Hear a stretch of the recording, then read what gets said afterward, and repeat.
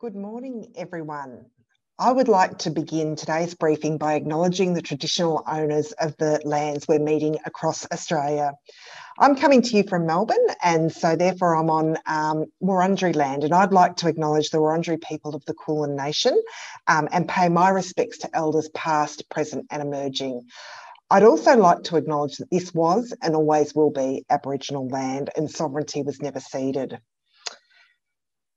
Welcome. My name is Mary Sayers, and I'm Chief Executive Officer of Children and Young People with Disability Australia. And I'm delighted to be facilitating uh, today's session on behalf of all the partners who are uh, presenting to you um, this information around NDIS. Today, we have both captions and interpreters for the session. You can use the closed captions button at the bottom of your screen, or you can use the link in the chat to open a separate window. If you require an interpreter, we encourage you to pin the interpreters so they always show up on your screen, even uh, during the presentations. They should be on the screen next to me now, and if you can pin them by hovering over the interpreter's name, interpreter square, and clicking the three little dots and selecting pin. If you have any issues, please message um, the tech support in the chat. Make sure you're in gallery view so that you can see the interpreter and the person speaking. You can do this by hitting the button in the top right hand corner at any time during the session. So, as I mentioned before, my name is Mary Sayers uh, and my pronouns are she, her. And just a visual description of me I'm wearing a black dress with a red jacket um, and wear glasses and have blonde shoulder length hair. Um, as I said, I'm the CEO of Children and Young People with um, Disability Australia, and I'm facilitating today's session on behalf of the Coalition of Disability Representative um, and Advocacy Organisations, including Every Australian Counts. We are all very gravely concerned about the proposed method and impacts of the introduction of independent assessments to the world leading um, National Disability Insurance Scheme, which to date has had bipartisan and community support. Thank you to the 43 MPs, senators, and your staff for joining with the disability community uh, today to hear directly about these concerns. We have produced a joint statement of concern about the proposed implementation of independent assessments um, to the NDIA, which has been sent to you, and we'll also put a link now in the chat. So, we've had a huge uptake today um, from all sides of federal parliament and the disability community for this briefing. You'll hear about the genuine lack of consultation, the lack, sorry, the lack of genuine consultation about the introduction of independent assessments and problems with the actual concept itself. True consultation is not when you make a decision and then present this as a fait accompli and only consult on how to implement independent assessments. It's not the genuine partnership with people with disability on which the NDIS has been built. So, just in terms of housekeeping, we're recording this session, which we uploaded online later, and we're going to make this video available for people who couldn't make it today. We encourage you to keep your video on. Um, if you don't want to be filmed, you're welcome to turn your camera off.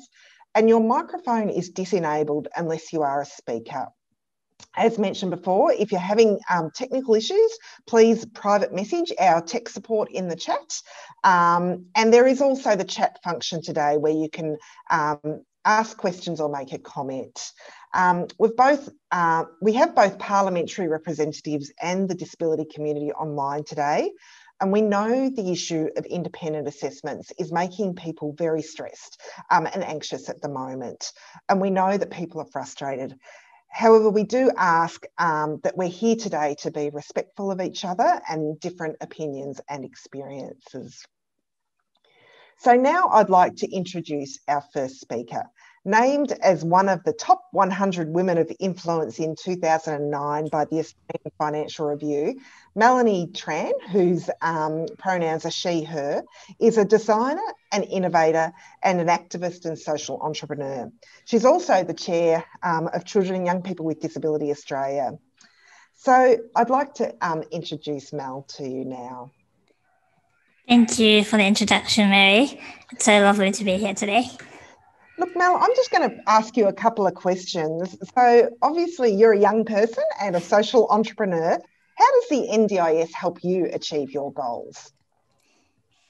That's a great question. I think um, when I refer to my support team or the support network around me, whether that's my support workers, my medical team, or my allied health professionals, um, I see them as the engine to my car, and they are exactly the reason um, that enables me to. They enable me to focus on my goals and my aspiration as an individual, as a product designer, and as a social entrepreneur, and as a chair of Children and Young People with Disability Australia.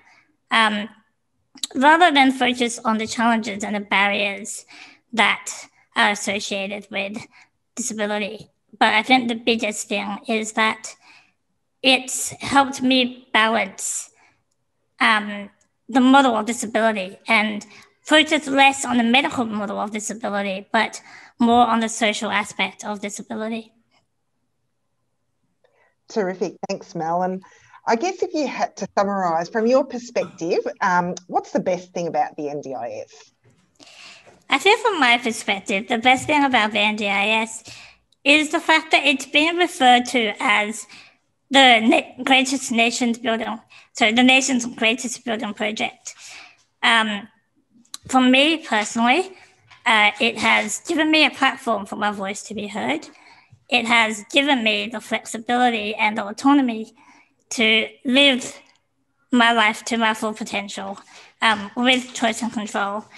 Um, and from the perspective of the sector, it has, we've all seen the shift in attitude, in perception, and in culture when it comes to inclusion and diversity. And I think no matter what role you're in, every single person in this call today has witnessed firsthand just how powerful it can be when choice and control is given to individuals. Um, and we have, and when we, as people with disability, when we have the power to dictate how we live our lives. Thanks, Mel. Um, and look, we'll now move on to independent. So, what do, concerns do you have about a complete stranger doing a three hour assessment on you, and then this dictates your NDIS funding? To be honest, when I first found out about the independent assessments, it almost felt as if we're just grabbing a random person off the streets and then sitting down with them and then depend, we're at their mercy to, di- to dictate how our lives would be or getting or being told by a stranger what we can do and what we can't do. Um, and we all know that's not true. We all know that we can own it's the most powerful when we can tell our own stories through our own perspectives with our own voices um, alongside those who know us best if this is our support team around us and the most fascinating part i think mary is that i get to combine my own personal perspective um, but also hear from what our community has been saying through my role as chair of Children and Young People with Disability Australia. Um, that's just as an, as an example, 80% of the res- respondents who participated in our recent survey had expressed some concerns um, in terms of the introduction to the, the, uh, the independent assessments. Um, and I think the four key concerns that really have stood out to me um, was the fact that minimal activities and planning was undertaken to inform the community of the changes, um, little consultation, um, and feedback has been given from has been taken from the community, as well as the absence of a rigorous research and evaluation process uh, before proceeding with a decision making that could ultimately change our nation and the way we receive support. Um, but I think the most important one is that the proposed reforms fail to properly address the underlying reasons for the scheme, and it introduces an unjust and unreasonable mechanism that will limit the ability for people with disability to have a say in the decisions um, that impact our lives. Um, and again, I think the NDIS has been referred to as the nation's greatest building project. And it is our job today to protect and to build on this mission and this vision, rather than stripping back the core elements that make the NDIS so powerful and so unique. Thank you very much, Mel. Um, really appreciate your insights um, today. We'll now move on to our next speaker, um, who is Catherine McAlpine, um, who is the CEO of Inclusion Australia. Uh, so um, Catherine goes by the pronouns of she and her. And so Inclusion Australia is a national disability representative organisation for people with intellectual disability and their families. So Catherine has over 15 years experience in the not-for-profit and advocacy sectors, including leadership positions with Down Syndrome Victoria, down Syndrome Australia, the Australian Federation of Disability Organisations, and VALID. And Catherine, Catherine is also the proud mother of three sons. Her middle son has Down syndrome. So Catherine is going to go through some of the details of the changes and, and, and the details of our concerns. So I'll hand over to you now, Catherine. Thanks, Mary. I'd also like to start by acknowledging the Wurundjeri people of the Kulin Nation on whose land I am joining you today and acknowledge the traditional custodians of the lands across Australia on which we are all meeting. I recognise their continuing connection to land, water and community and pay my respects to elders past, present and emerging and welcome any Aboriginal or Torres Strait Islander people into the briefing today. I'd also like to acknowledge all the people with disability, their families and supporters for so long who advocated for so long for the wonderful social change that is the National Disability Insurance Scheme. And as CEO of Inclusion Australia, the national voice of people with intellectual disability and, my, and their families, I would also like to pay particular respect to self advocates, the people with intellectual disability who have spoken out so strongly about their experiences and the changes needed.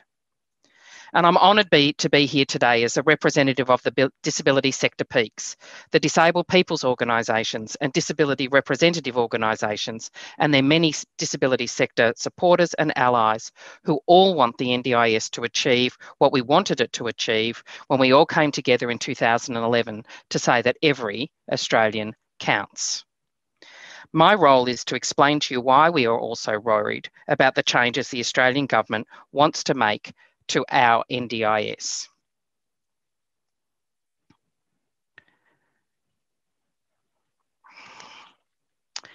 We call it our NDIS because in the two years between the Every Australian Counts campaign and the launch of the NDIS trial sites, people with disabilities, families, service providers, and the state and territory governments worked with the Commonwealth Government to design the NDIS. Through genuine democratic consultations, the NDIS Act and NDIS rules were co designed with people with disability having real influence. This co design is reflected in the NDIS Act. It states people with disabilities have the right to engage as equal partners in decisions that will affect their lives. The NDIS corporate plan says putting participants at the centre of everything we do. But in 2020, the Minister for the NDIS announced a substantial package of reforms to the NDIS following feedback collected in the Tune Review report. The announcement said new independent assessments would be rolled out as the central source of accurate information about a person with disability support needs. Previously, the Minister had discussed piloting independent assessments for people who needed extra evidence to access the scheme.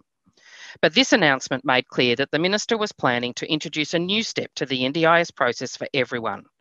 This would not only determine eligibility, but it would also be used to formulate the budget people receive. The Minister also stated that he would ensure people with a disability have a seat at the table when it comes to implementing these reforms. However, As the community outcry over the following weekend, and frankly ever since, has showed, there were big problems with that announcement. The government had not consulted with people with disability about this new process, what the underlying reasons for it might be, or about the solutions to these promise these challenges. It had decided on its own solution. I want to be really clear on this point. The Tune Review did consult widely and made recommendations, but the government has reinterpreted, even misinterpreted, the Tune recommendations and ignored important details about independent assessments made by the Productivity Commission report to suit its own agenda. The Tune review said that the NDIS should have the power to require some people in some circumstances to have an independent assessment and that this power should be discretionary. Tune did not suggest compulsory independent assessments for everyone or that they be used to determine the level of funding. The Productivity Commission did recommend that independent assessments play a role in the NDIS. However, the Productivity Commission also talked about people's concerns about independent assessments and made recommendations about what the NDIS needed to consider. This included people's aspirations and the collection of information from multiple sources the government is changing the way the NDIS works from a person centred approach to a one size fits all model. The government has decided to use modified standardised tools, assessments of a person's function, to determine the funding that that person would receive for their support needs. And as many experts have since explained, these tools were not designed and are not recommended for this purpose. And the experience of people who have participated in the pilot has already shown that these reports can be very wrong. The government had already made the decision to use these tools without comprehensive testing on whether, in fact, they were accurate. Um, and worked for the new purpose. The pilot used as evidence was very small and was not independently evaluated. This means that the NDIS has changed the use of standard tools as well as inventing its own funding algorithm without community transparency or oversight. The immediate outcry occurred because the government broke its fundamental promise to people with disability to engage as equal partners in decisions, and at the same time decided to fundamentally change the person centred nature of the NDIS. The mantra, nothing without us, about us without us, is not a negotiable or a privilege. The NDIS Act, the law, acknowledges this as a right. Plus, we're all outraged because we've all been through a one size fits all model before. It doesn't work. And the government would know this if they'd asked first or if they listen now. Therefore, the primary, first and primary request to our government is to stop the rollout of, of compulsory assessments and to co-design a new access and planning process with people with disability their families, supporters, and the organisations who represent them. The announcement about independent assessments said they would provide accurate information about a person's support needs, but we do not have any evidence that they are accurate. As I said before, many experts and academics have said that the tools used in the assessments were not designed for this purpose, and they're not recommended to determine how much funding each individual needs. The government and NDIA have not told us how assessment results will be used to work out a person's budget. There has been no consultation or transparency on the formula or tool they will use to translate the result of the independent assessments to a dollar figure. We have not been told how the level of funding in a package might change. We think it's unfair that people might miss out on the NDIS or not have their support needs met. We think there needs to be a strong, transparent, and independent evaluation of proposed tools and methods to show that they are accurate.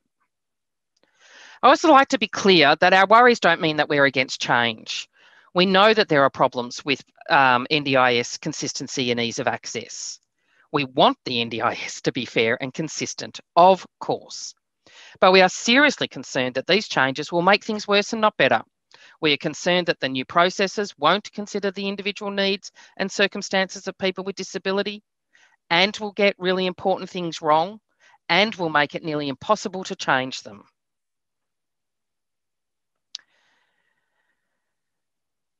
There is an obvious solution. The Australian government could work with people with disability families and service providers from the beginning. We want to make sure the NDIS is the world leading scheme we believe we can and should be. After all, it's our NDIS. It belongs to our community. We all fought hard to break to replace the old broken systems that left people with disability shut out. A critical difference is that the NDIS is individualised and personalised. Every NDIS participant should get a plan that supports their unique needs and circumstances.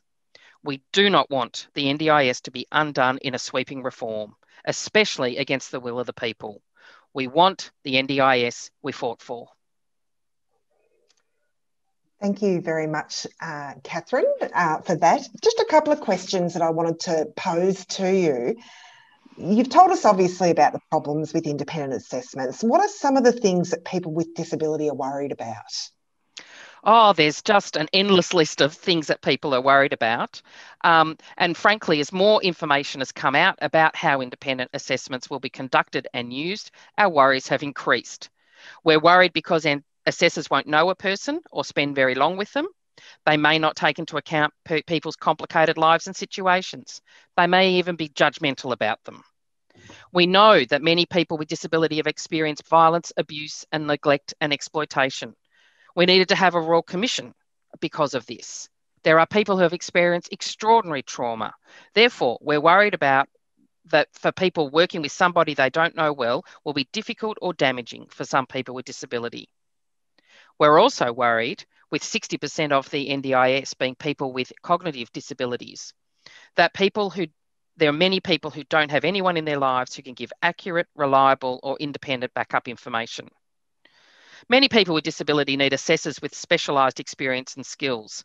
We're worried that the assessors won't have the right experience or skills or training for people with invisible disabilities or complex disabilities or First Nations people or people from culturally or linguistically diverse backgrounds or LGBTQA plus people.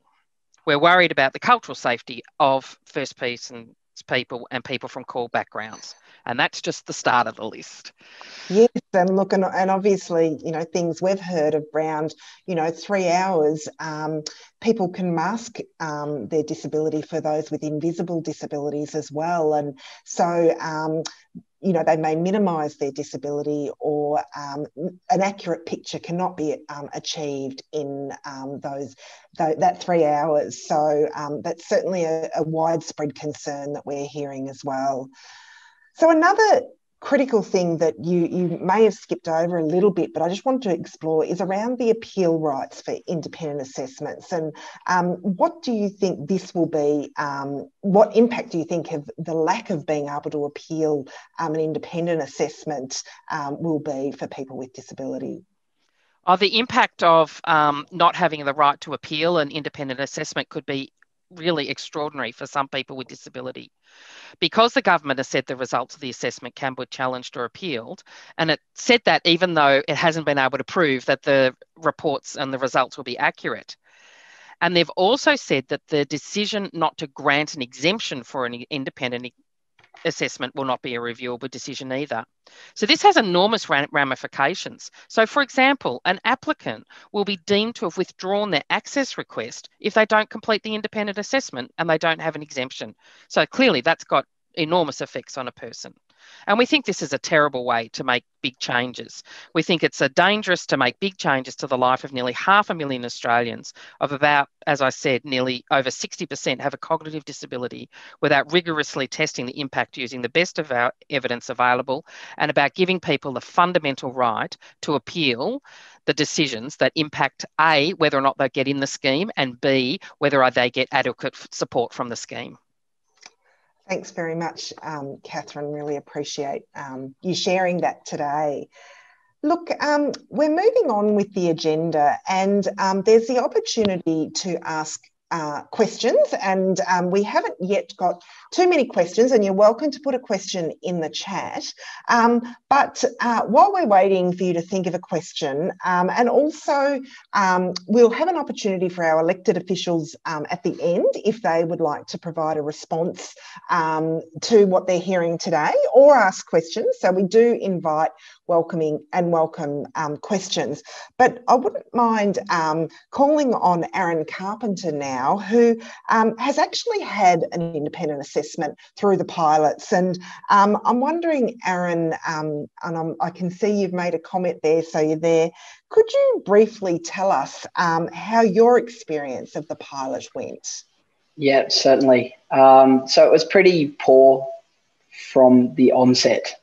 Um, I, I, prefer communication via email. I received multiple text messages and phone calls.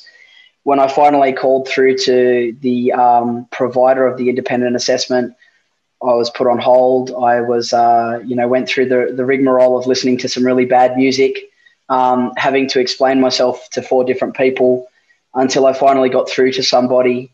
Um, and then when I did get through to them, I was agitated by that point and asking why I was getting phone calls, etc. And the first thing that this person said was, "Can I speak to your support person?" Um, at which point I kind of said, "Well, if you can't talk to me, then it's going to be pretty redundant because I'm going to be the one answering the questions in regards to the independent assessment." So from there, it kind of it kind of got worse and worse. There was a lot of miscommunication via email about what tools would be used. I was directed to go and have a look at the website when I said not all of us can access websites or, or read the information or know what those assessment tools would, would mean, I was told that was just what was on the NDIS. That was the only information I was given. Um, I was told the first name of the person that would be coming to my house um, and what time they would be coming. Uh, when they arrived, they arrived early, which for me is pretty catastrophic. I'm, I'm uh, autistic and I, I don't do changes in routine. Uh, so having somebody arrive 15 minutes early threw me in in in the uh, first place. Um, and from there, he didn't identify himself. He just told me that his name was Ben. Uh, and when I asked him what role, like what um, what his qualification was, he told me that he was a physiotherapist. So when I questioned that and said, "Well, what does a physiotherapist know about neurological disorders and, and assessing it?" He told me that he was also a personal care worker and knew how to t- take care of people and clean them. Um, you know, needless to say, I was concerned by this point already. But the fact of the matter is, my partner and I proceeded with the assessment, um, partly because I also provide support coordination. And I really wanted to see what was happening for my participants as well, what was going to happen for them as well as being a participant myself. So we proceeded with it. Uh, and it didn't get any better. We were told um, just to answer yes or no. My partner was told to be quiet because she was rambling. Um, my partner's also autistic. That's part of our communication, probably, is sometimes we do tend to ramble. Um, we're not very good at social cues or knowing when to stop or to start, really. Um, but when we did answer questions, we weren't provided any context. There wasn't kind of like, you know, the context around these questions is to ask you about your neurological function, or the context around this is about your mobility, or how you handle situations. There was absolutely no context other than can you catch public transport, would be an example. And the answer would be yes or no. And when I went into the context of I, I can, but it takes a lot of work and planning. And if something goes wrong and the bus is late, then that can be pretty catastrophic for me. That wasn't an answer that was taken um, and wasn't considered. He just went, no, well, it's yes or no. So there was no context behind my answers. He was here for a sum total of one hour and 55 minutes. Um, and then he was gone. Okay. And what I did ask for, I asked for the information that had been collected in that assessment. So I asked for my assessment to be given to me. I was provided with the raw data for that assessment, which was um, a WHODAS, a Vineland, uh, a CHIEF example. For these are the examples of some of the assessments. But what I can tell you is that some of the stuff that was written in that assessment was incorrect. Either they A, failed to capture what I had said, or B, ignored it completely.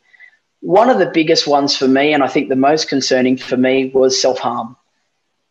It was listed as not applicable. And now I can tell you it is applicable. When I have a meltdown and I'm not coping, I hit myself I hit walls, I headbutt walls, I tear my clothing off.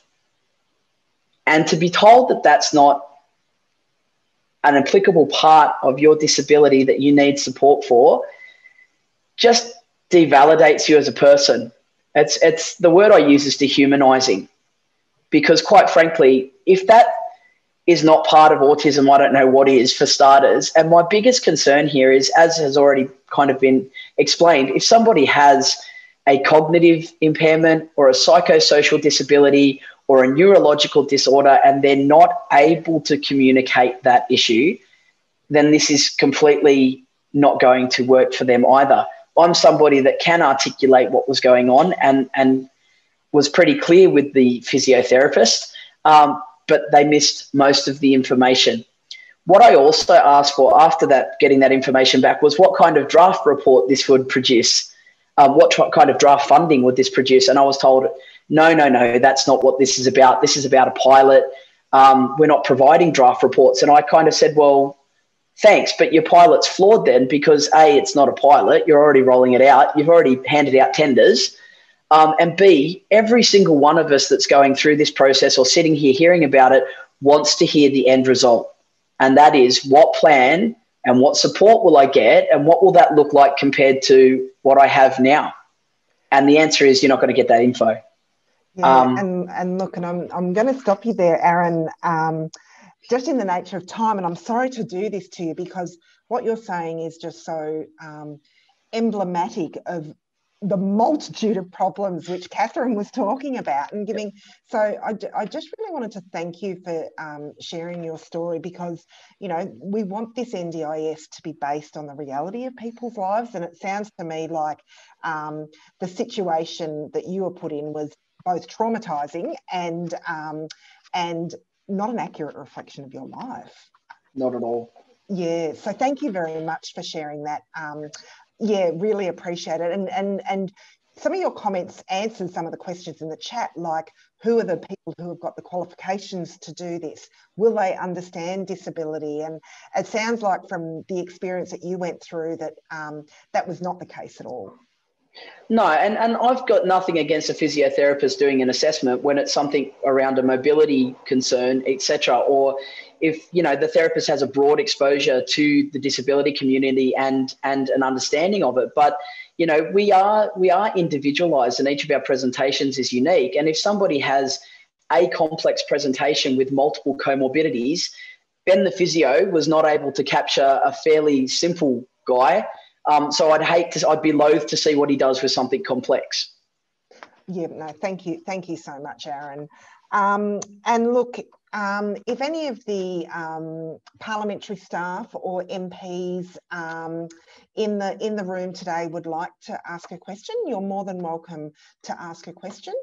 and as I said, um, there is also an opportunity um, at the end um, for you to make a comment or ask questions. Obviously, you know, our community is relying on you as lawmakers um, when the legislation comes through to fully understand the implications um, of this. So um, I haven't seen any questions come through, but please, you're welcome to put up your hand and ask any questions or make a comment and we'll come to you.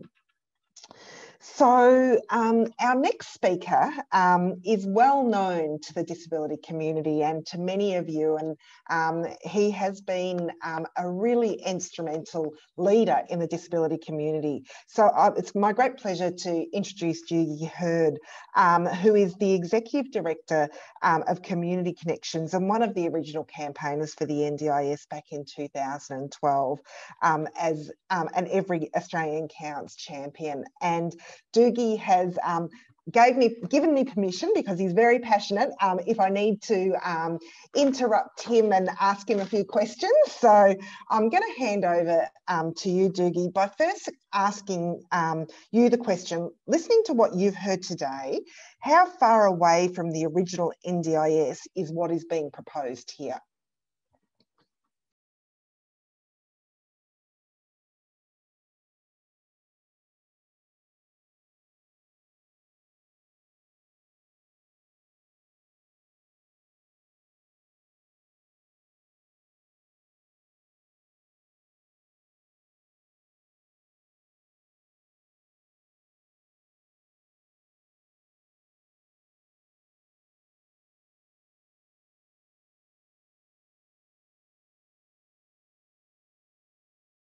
Thank you very much. Um, my name's Dougie Herd. Um, I want to thank you for the invitation to speak. Um, I'm in Canberra, so I would like to pay my respects to the Ngunnawal people, pay my respects to elders past and emerging, and um, as briefly as I can, um, uh, just say a few words from my perspective.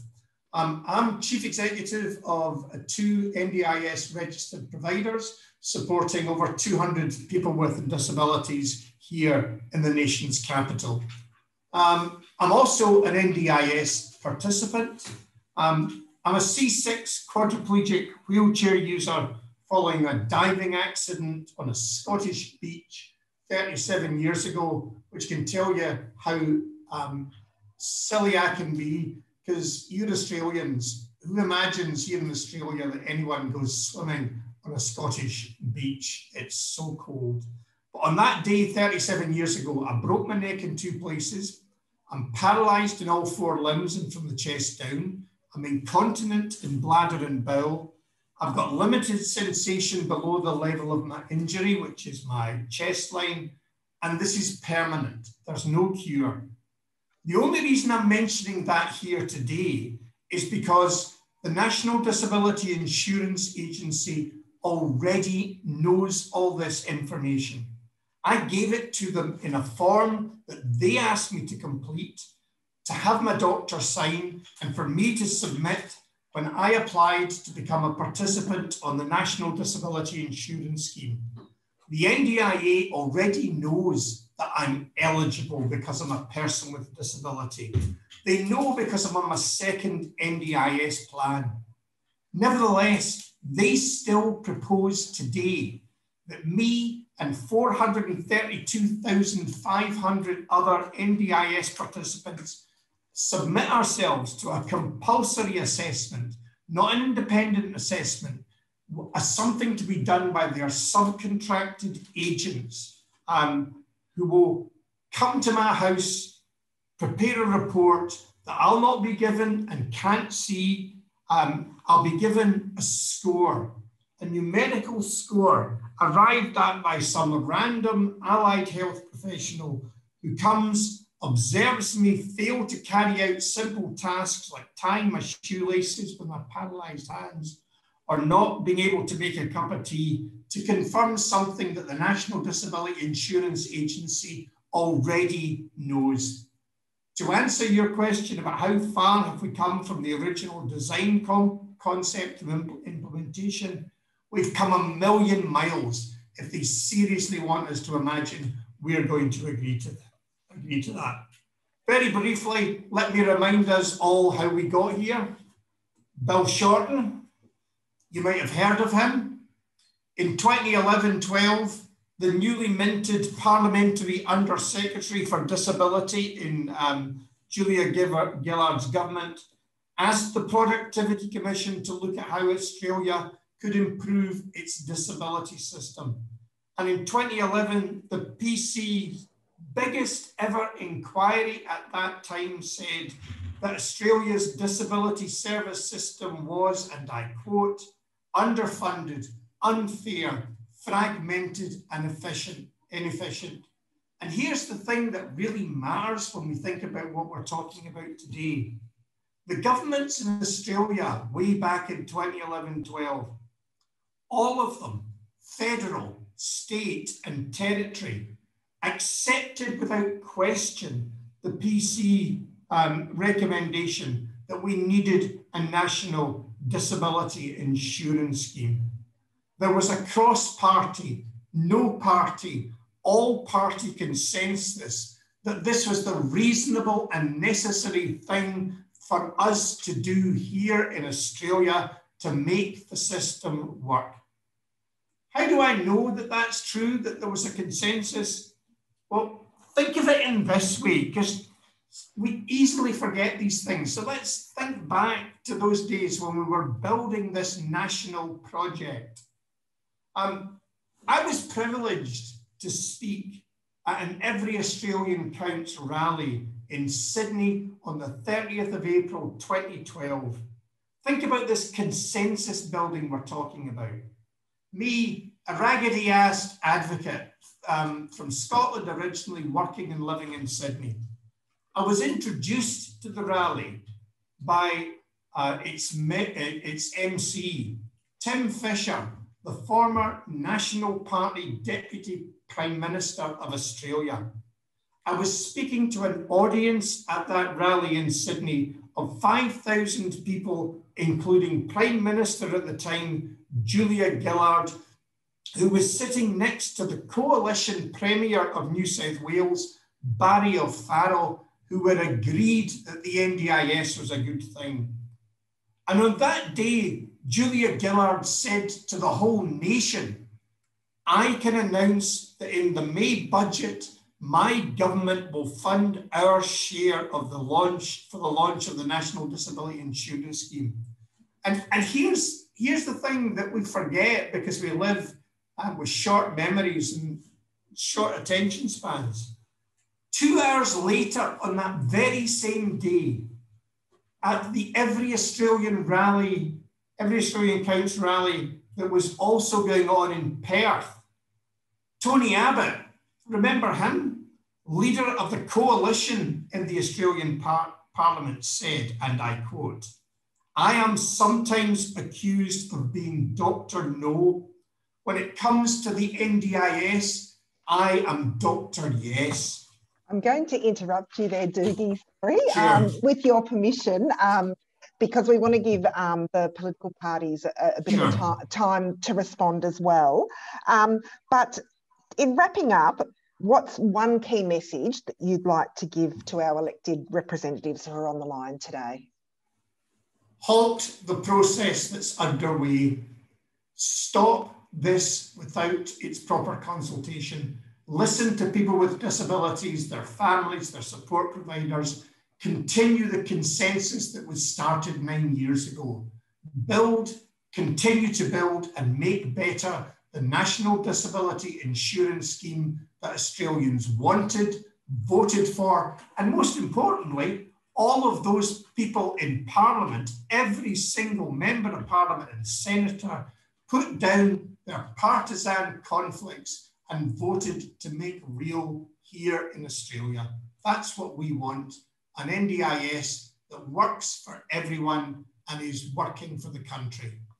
Thank you, thank you so much, Dougie. Um, I could listen to, to you all day, and and um, and I'm really um, grateful for the work you, have done over these years. Your legacy of all the people, you know, the NDIS sits on the shoulders of all of you and um, and you know you are the custodians and people with disability are the custodians of our NDS IS so thank you we thank have you. Um, an opportunity now, and I can see that there is lots of questions from the audience members um, about questions around the whole process, which clearly shows that um, there is still um, quite a lot of concerns. But unfortunately, today we don't have time to answer those all those questions. But we do have um, we will we will um, take on board all your questions and endeavour to provide information back to you.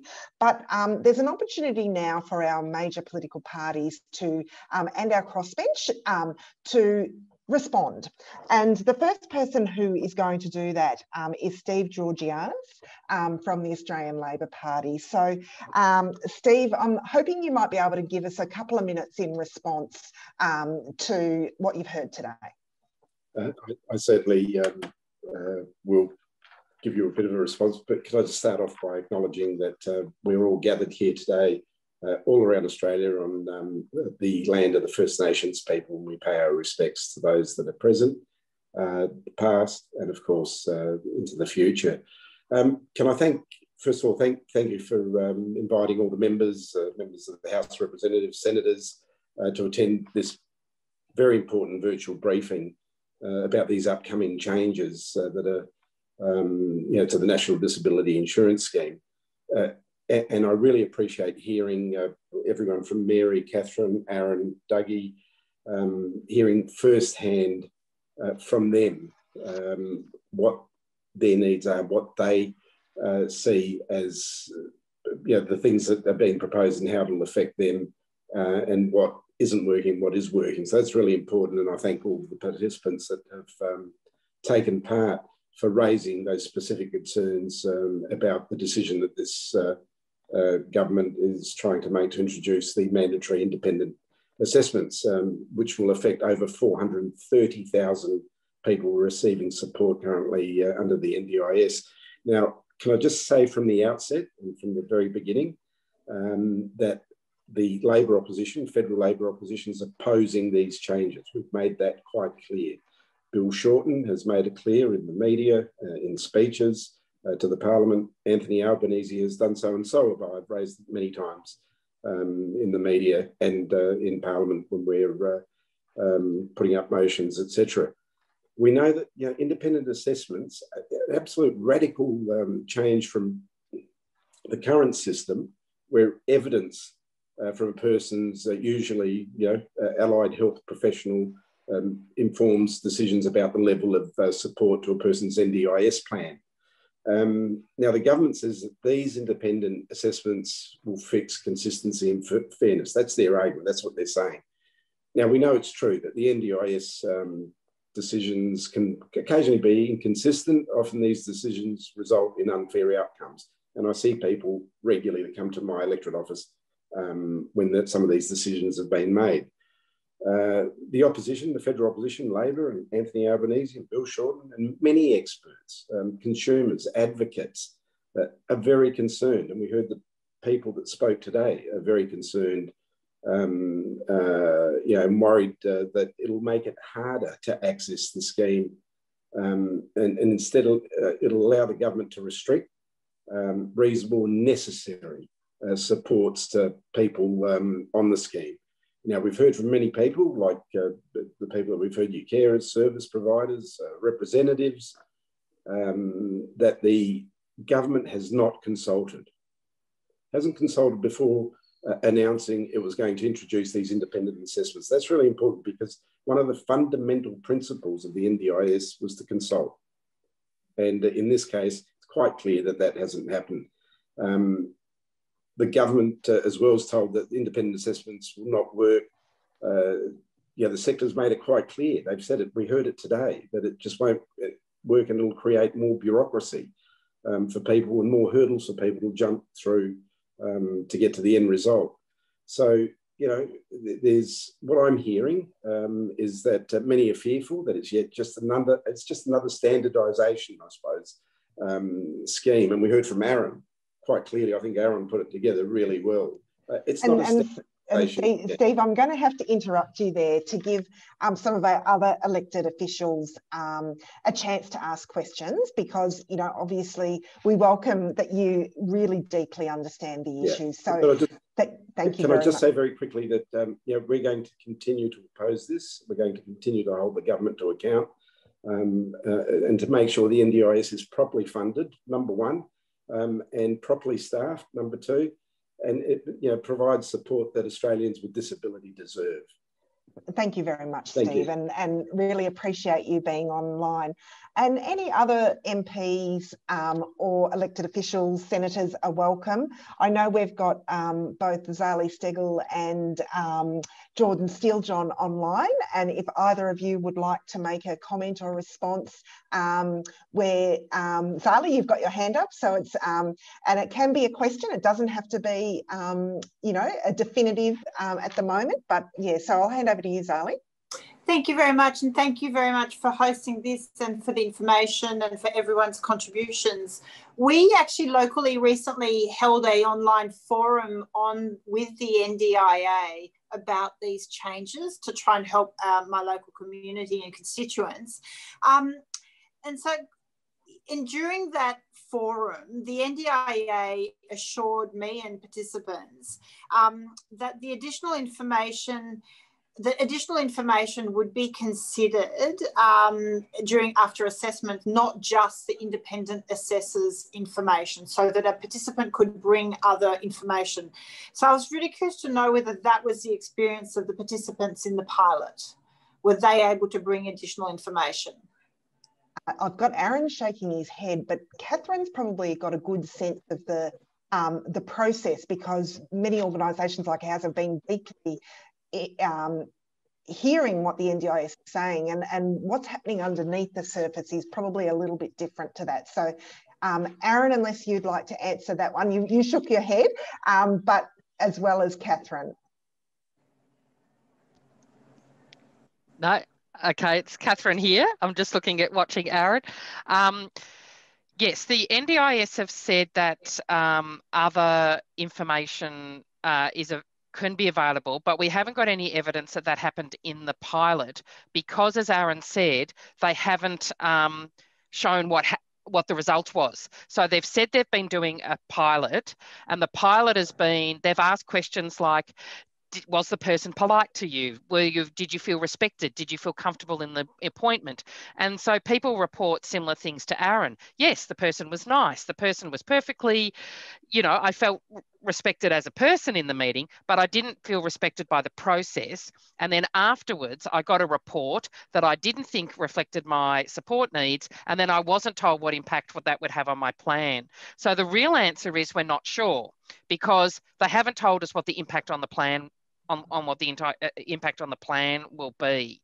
Um, the other and issue so is that, could I ask, was Aaron yeah. able to bring further? So we it was indicated to us during the forum that um, a participant could would have to do the independent assessment, that there would be flexibilities around it, but they would also be able to put forward um, the information that they maybe traditionally would have had available towards their assessment as well um, it was pitched, uh, you know, I agree, different perspectives, but it was pitched that the independent assessment was to fill the gap in areas where people were not able to bring forward sufficient information for their needs.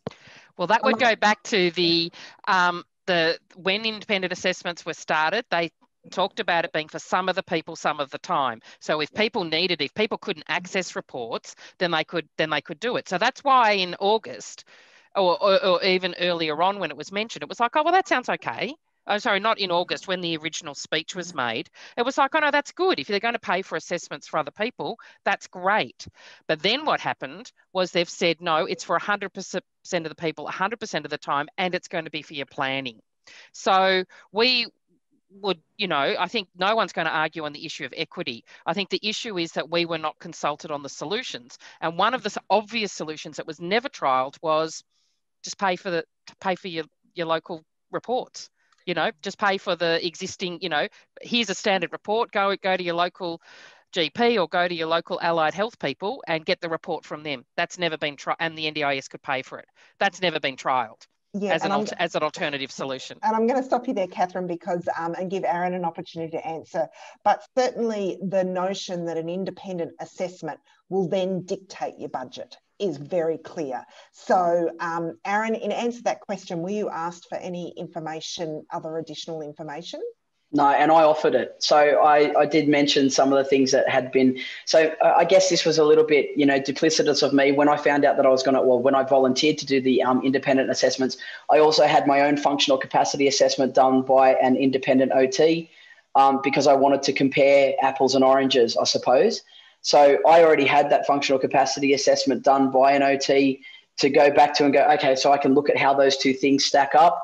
Um, when I suggested, you know, what what do you do? Do you want to talk to my treating psychologist, my support workers, um, my OT in regards to some of the information you might want to get? He said, no, it's not relevant. We'll just do it here and now. Um, and even things like the context that I have five people in my home with autism.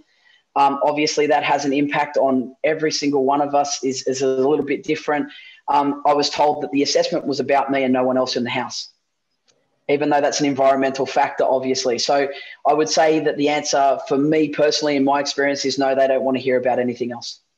And look, there's been a, a comment in the um, chat from Fiona Sharkie, who represents the Autism Alliance, and um, Many participants have asked if an independent assessment could be done by a practitioner or a professional who knows them well, who knows their story, who knows their disability, who knows their environment, and flat out refusal of that has happened. So, um, yeah, so I guess that, um, you know, that ability to deeply know a person is being completely minimised through this process. I'm just wondering, Zali, did you have any follow up questions? And um, I know mm. Jordan has got some questions as well. No, that's interesting. Thank you very much. Thank you very much, Zali. Um, and Jordan, did you have um, any questions or comments that you wanted to add? And Jordan Steele-John um, is very well known to people in the disability community, so probably needs no introduction.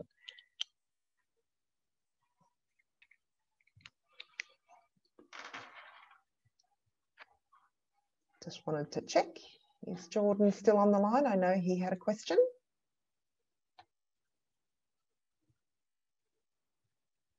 He may have needed to drop off. Was there any other um, comments or questions um, from any of our elected officials that they'd like to make? We haven't heard anyone um, from the um, coalition. Welcome for you to ask questions of anyone um, who's on, on as well.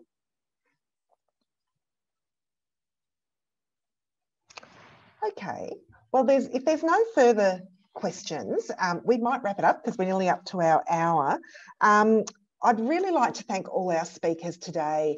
I'd like to thank, uh, thank um, Mel, Aaron and Dougie, who are um, NDIS participants and who have really um, shed a lot of light on, on this and what it's going to mean in your lives. Also like to thank Catherine um, and also like to thank um, all the parliamentary um, staff. We know there's a lot of MPs, um, senators and staff online and also everyone from the disability community.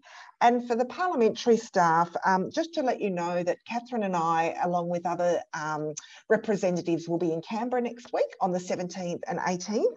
And we'd welcome um, the opportunity for one-on-one conversations if you would like more information. Um, and you can contact um, info at everyaustraliancounts.com.au.